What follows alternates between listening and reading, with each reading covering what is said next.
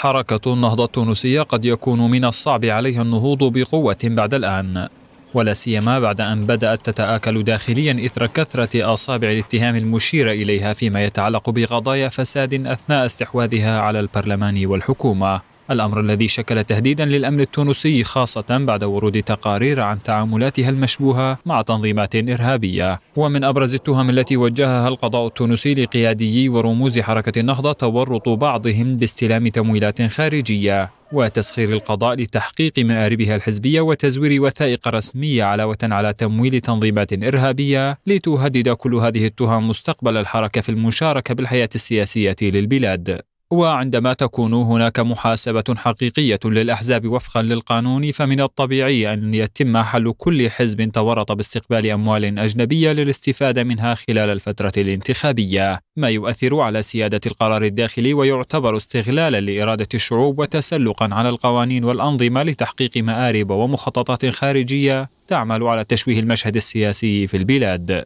إذا كانت هنالك عزائم صادقة في هذا البلاد يحل طبعا حزب حركة النهضة ويحل كل حزب سياسي آه، آه، صعد إلى سلم الحكم أو مر إلى سلم الحكم بأموال أجنبية خاصة يعني التمويل الأجنبي هو أخطر الجرائم الانتخابية لأنه فيه خيانة عظمى للوطن. لأنه فيه ضحك على إرادة الشعب التونسي لأنه فيه كل يعني ما من شأنه أن يدمر المشهد السياسي في تونس. وفي إطار اتهامات وجهت لقياديين بالنهضة اتهم نور الدين البحيري بالسيطرة على الجهاز القضائي بما يخدم الحركة أثناء استلامه منصب وزير العدل.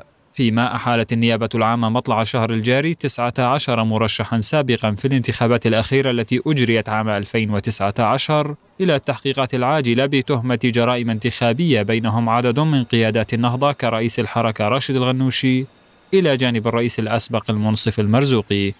وفي حال خروج حركة النهضة من المشهد السياسي التونسي فإما أن تشهد البلاد استقرارا أمنيا مغايرا لحالة الفوضى خلال العقد الماضي أو أن تعود الفوضى السياسية المترافقة مع حالة من العنف كرد فعل سلبي من النهضة ما يجعل البلاد عرضة للهجمات الإرهابية والتدخلات الأجنبية وفق بعض المحللين.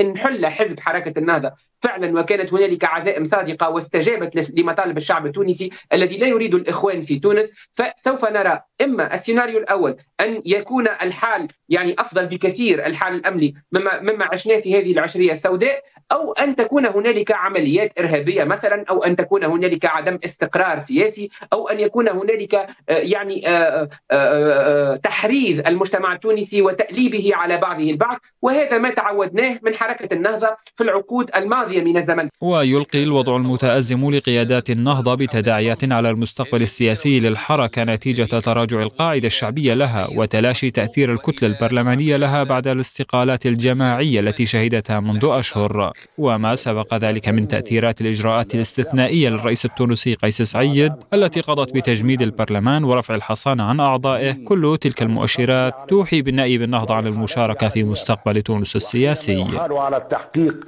يقال إن القضاء حر.